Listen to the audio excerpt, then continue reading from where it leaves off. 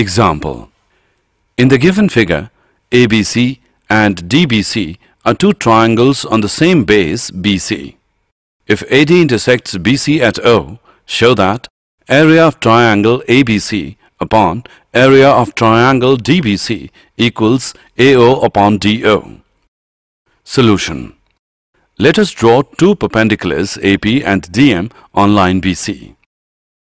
We know that area of a triangle is equal to 1 by 2 into base into height.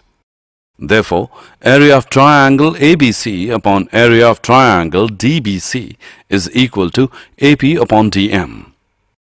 In triangle APO and triangle DMO, angle APO equals angle DMO each 90 degrees. Angle AOP equals angle DOM vertically opposite angles.